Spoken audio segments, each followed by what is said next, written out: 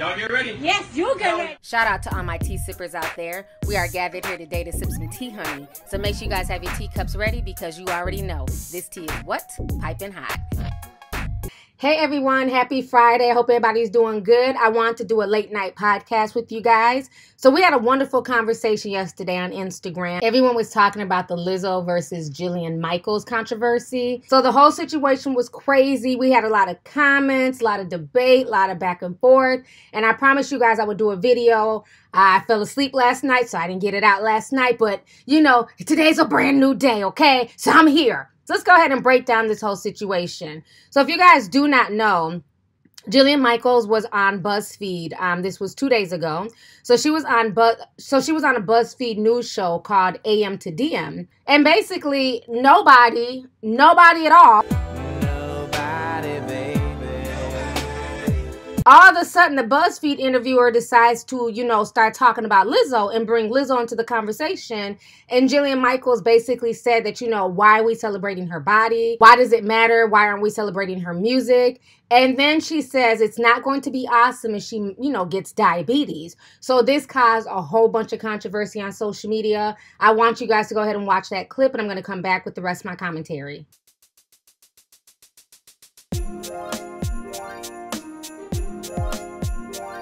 Um, why are we celebrating her body? Why does it matter? That's what I'm saying. Like, why aren't we celebrating her music? Because it isn't going to be awesome if she gets diabetes.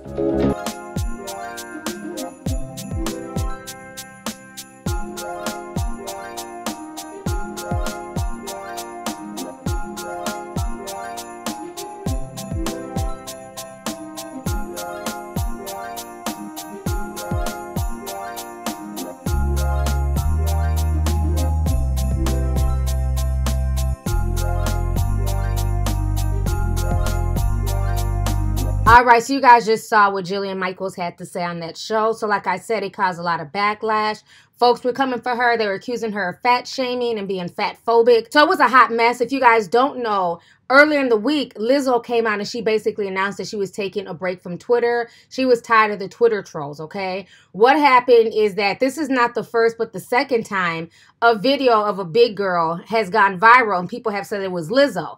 I even got caught up in this. Um, somebody sent me a video. They're like, look, Lizzo's on the table dancing and she busted her ass. I'm like, what the hell is Lizzo on? I thought it was Lizzo. So this video went viral. Then come to find out it wasn't Lizzo.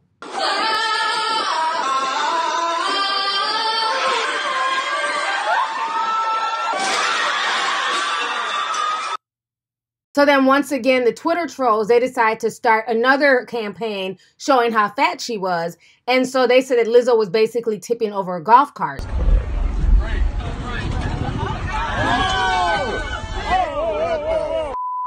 Somebody let him drive. Let him drive. Somebody So you guys just saw that video, and basically this is an old video. Like as soon as I saw it, I recognized it. This is from when Cardi B was pregnant because I remember doing a video on this, and I was like, Cardi B needs to kind of chill out while she's pregnant, you know, because if that golf cart would have tipped over, she could have been hurt. So this is an old video that was not Lizzo in the golf cart with Cardi B. That was some other big girl. Okay, so the Twitter trolls keep like any big girl viral video, they keep attaching it to Lizzo. So Lizzo got tired of it, so she basically quit Twitter earlier this week. And then the whole Jillian Michaels controversy ended up erupting. And so that caused more drama. So now Jillian Michaels was confronted yesterday by TMZ. And this is what Jillian had to say. Y'all go ahead and check this out. How you doing, Miss Michaels? I wanted to talk to you about the Lizzo thing. I know people have been very critical of you. Here's what I'm going to say to you I'm a health expert.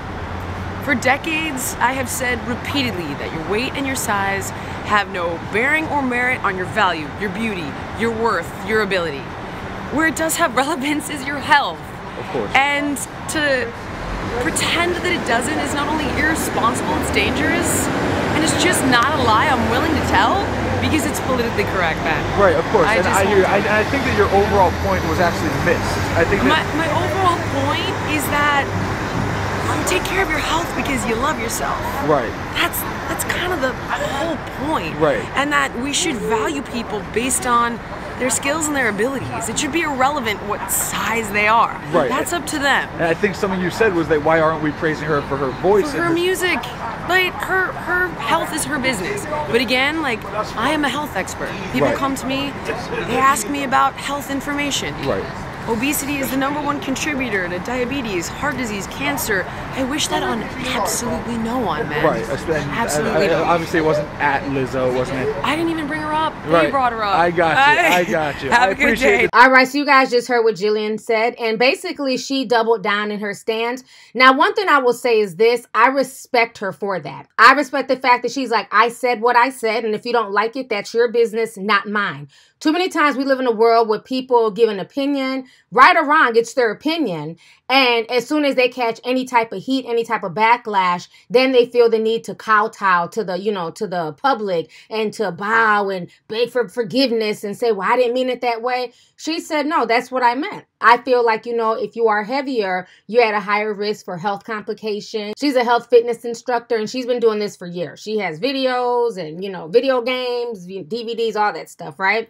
So I like the fact that she did double down and she basically said that for her, she's going to prioritize health. She also took to her Instagram page and this is what she wrote on Instagram. I've stated repeatedly, we are all beautiful, worthy, equally deserving. I also feel strongly that we love ourselves enough to acknowledge there are serious health consequences that come with obesity, heart disease, diabetes, cancer, to name a few. I would never wish these for anyone, and I would hope we prioritize our health because we love ourselves and our bodies. So that's what she posted. And so, like I said, the internet is definitely mixed.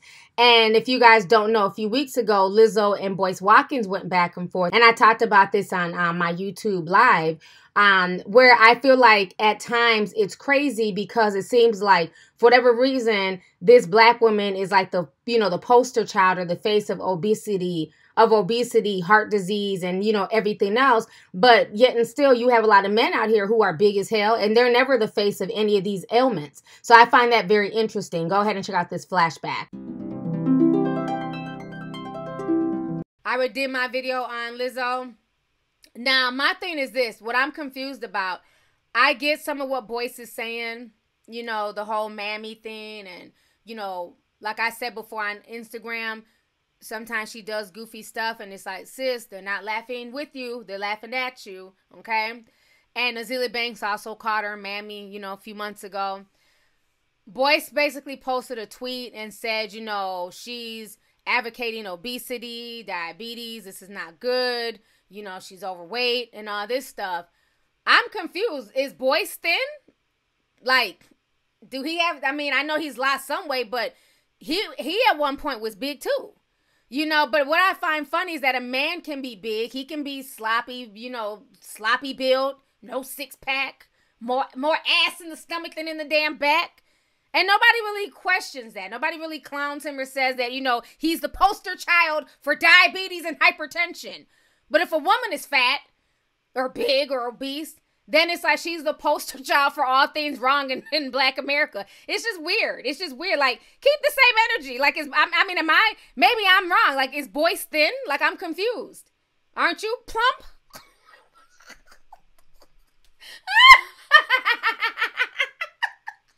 I'm just saying. Why, when it's a woman, all of a sudden, like, she has to be the poster child for everything? Like, he he's big too. Hell, they all need to, you know, be on some type of diet challenge. Like, what the hell? That's the pot the kettle black. You know, so that's my thing. But do I do I agree with him when he's saying that she is playing into an archetype? I definitely do. I feel like at this point she's more known for like her her foolishness than she is her music. And that's just keeping it real. I already caught that out when I talked about her wearing that damn t-shirt dress with the ass cheeks cut out. But as far as like the whole weight thing, does she need to lose weight? If she feels the need to lose weight, great, lose it. But that's not for me to shame her or pressure her. What I'm saying is that at the end of the day, you have to let people come into their own journey. Shaming somebody or constantly reminding them that they're big or they're overweight, that's not helping. She has to realize that, you know what? Damn, I'm damn near 500 pounds or however much she weighs. Maybe it's time for me to slim down. Maybe I should start taking my health more seriously. But she has to come into that consciousness. It's not for Boyce Watkins to tell her or for people to make memes about how big she is and stuff like that. She tries to say that she's comfortable in her size and she is who she is. I feel like a lot of that is bravado. While I do feel like there's some comfort, you know, she feels some comfortability in her size. I still feel like she does she does a bit too much. People who are comfortable with their size, when you're comfortable in your own skin, you you don't have to do too much. It's just going to show, right? It's just natural. Just like if you're just a regular, confident, sexy woman, you're going to exude sex appeal. You don't have to show it all off for the gram. Okay? So that that's how I feel. Do y'all get what I'm saying? Or am I being mean? Let me see. Am I being mean or am I keeping it real? Let's read the comments. Okay, y'all understand what I'm saying. Okay, so Love Unruly says, I see the insecurities. Right. Just like when she did that live stream, she ran it for eight minutes. I'm doing me. I don't care what y'all say. I've been funny. I can walk with my ass out. Then she started crying. Wait, you were just screaming about confidence and walking with your ass? What the fuck you crying for? Make it make sense. So a lot of people do stuff and then they try to act like they're so secure and that's why they're I can do what I want. You can. But then be prepared for that backlash because people are going to have opinions of you. But again, having opinions and shaming her about her weight, that's not going to get her to change her weight. She has to come into that. That's something she has to do. All right, so you guys just heard me talk about it on the live stream. So now what's going on is this. Yesterday, Lizzo basically took to her social media page and she had a message for everybody who has her name in their mouth. Y'all go ahead and check this out. If my name is in your mouth, so is my pussy, bitch. Enjoy the flavor.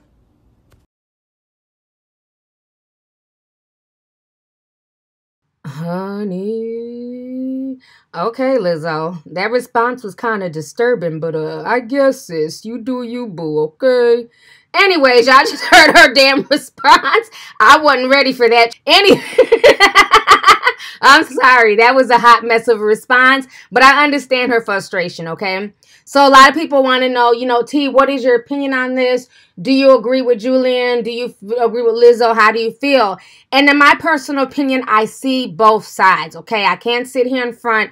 I understand both sides. Kudos to Jillian Michaels for not backing down, saying I said what I said. I stand by my stance, and that's it. That's all. I don't feel like people should really be celebrating anybody's body like they're a piece of meat.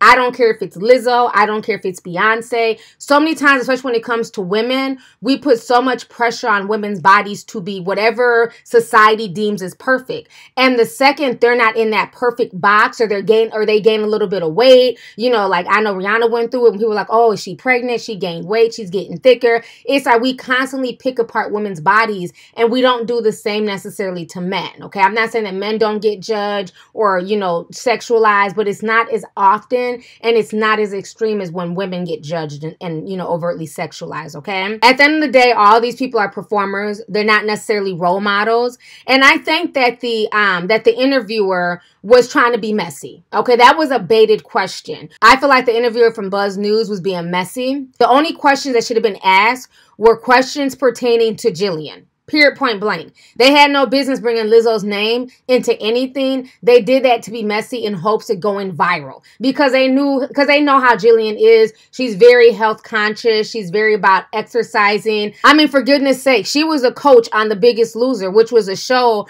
about, you know, making fat people lose weight. So they, I felt like they asked her that question to bait her and to be messy. And Jillian, she basically fell for the bait, okay? At the end of the day, everybody is free to love their own body. You know, obese or not, slim or not, thick, thin, whatever. That's your body. You should love your body. You should think highly of your body. But that also does not equate to necessarily being healthy. Okay. And then we also have to be careful with this health is not black and white. You can be skinny, you can have a cute shape, and you might have the worst lungs, the worst heart, you could have diabetes. So you can't necessarily, we need to be careful when we look at somebody physically and we try to self diagnose them. I see that a lot on social media, especially when it comes to like psychological stuff. Oh, well, she's bipolar. She got ADHD. How do you know? Where the fuck did you get your psychology degree? The comment section of YouTube? You know, people love to just diagnose people. And we need to be careful with that because, you know, determining somebody's health by their size, it's not necessarily black and white. You know, you have some people out here who are big, but even though they're bigger, they work out, they're healthy, they're running. You know, they just happen to be big and it's not easy for them to lose the weight like other people. You know, then you have some people who are thinner or may have got some work done and they're on point, but that doesn't necessarily mean that they're healthy and their heart is healthy and they don't have diabetes and things like that. At the end of the day, you have millions of people out here who deal with, you know, health conditions regardless of weight. And I think that we need to stop trying to tie every negative, you know, health condition, obesity, diabetes, heart disease. We need to stop tying that to Lizzo, okay? Lizzo's not the first big girl out here. I see big people out here in the world every time I go outside every time I go to Walmart. Why do we act like big people just don't exist? I mean, it's like the weirdest thing. It's like on social media, people act like she's some type of anomaly when you can go outside in your neighborhood and see people who are Lizzo size and even bigger. You know, if you're one of those people who are bigger, but you do work out, you do watch what you eat, then it's kind of unfair to just slide that person in that category. So I think that can be kind of dangerous, especially when we keep tying, you know, we keep making Lizzo the face of obesity and the face of everything wrong with Black America. You know, that's not okay. We have a lot of people out here who are big, who are plus size, but they still dress, you know, with class. They still carry themselves a certain way. So I think that's where sometimes Lizzo loses a lot of people, you know, especially with that whole t-shirt debacle. That was not cute. I don't give a damn what nobody says. Big smile. I don't want to see your ass cheeks at a damn basketball game. I think that's where Lizzo kind of lost, you know, a lot of supporters at that point. It's like, okay, sis, we understand you're big. We understand the body positivity, but you're doing a bit too much, okay? Even her response to me was just kind of I would have respected it more had it been like a more well thought out response. Like that was just so, you know, junior high, Instagram, you know, how my pussy tastes. That was just so ratchet. Like if she'd have just came back and been like, you know what? Okay, I see what you're saying, Jillian Michaels, but I'm healthy. I work out. Don't worry about what I eat. You know I'm saying? You worry about you and I'm to worry about me. Even saying something like that would have been, would have sufficed more then you know so easy to play the ratchet raunchy route. So i didn't really like her response. I thought she could have handled her response with a little bit more tact. But again that's my opinion. Y'all can have your opinion on her response. But anyways y'all Let's go ahead and get the discussion popping, honey. I want to know all y'all's opinions concerning this controversy of Jillian Michaels versus Lizzo. Okay, I wanted to do a whole breakdown for you guys. So, are you team Jillian Michaels on this? Do you feel like she said nothing wrong? She spoke nothing but the truth, and obesity does cause a lot of health issues? Or are you team Lizzo on this? And you know, if Lizzo wants to be big, that's her business. Let her live her best life and people need to get off her back. So let's go ahead and get the discussion popping. Go ahead and leave a comment. All right. Deuces.